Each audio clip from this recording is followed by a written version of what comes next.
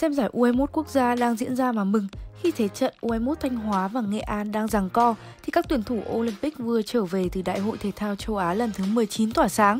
Một pha bứt tốc xuống đáy biên và một đường truyền sáng nước của Hồ Văn Cường đã đặt đúng tầm chân của Đinh Xuân Tiến để tiền đạo số 1 của U21 Sông Lam Nghệ An mở tỷ số. Ít phút sau là bàn thắng đưa Sông Lam Nghệ An dẫn 2-0. Người lập công là Trần Nam Hải với pha nhảy múa trước vòng cấm của đối phương cùng cú sút góc xa bất ngờ. Thế đấy, chỉ hai ngày sau khi xuống sân bay đã ra trận tiền thì ra thể lực không phải là vấn đề quá lớn với các cầu thủ trẻ có nền tảng tốt, năng lực chuyên môn của họ cũng vậy.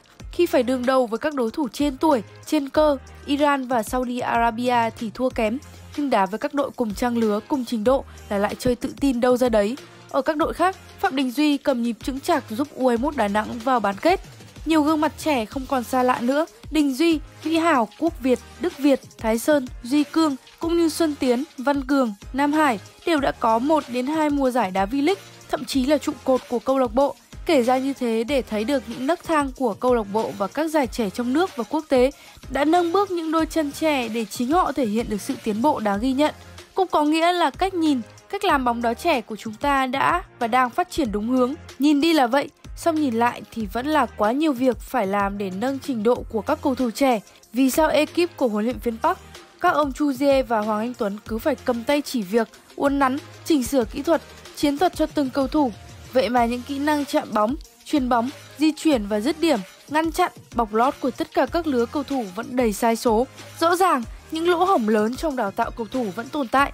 Trong hướng hội nhập mới, các đội tuyển sẽ không thể có thời gian dài tập trung như trước thì các huấn luyện viên không thể nào thực hiện được công việc này. Từ đây, ta phải nhìn lại vai trò của giám đốc kỹ thuật các câu lạc bộ và cấp độ liên đoàn bóng đá Việt Nam, không thể cứ trông đợi vào những huấn luyện viên ở đội tuyển. Nếu như ở cấp câu lạc bộ có thể vung tiền mua cầu thủ giỏi nội ngoại để có thể sớm có thành tích thì việc này ở các đội tuyển là không thể.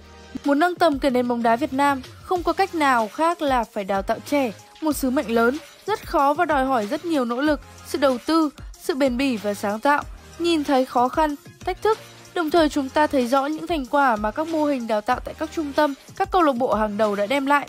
Bước tiến vượt bậc của bóng đá Việt Nam trong những năm gần đây có nền móng từ những thành quả của họ. Tiếp tục phát huy, đổi mới, nâng cao chất lượng hơn nữa là cách làm để bóng đá Việt Nam vững bước tới tương lai.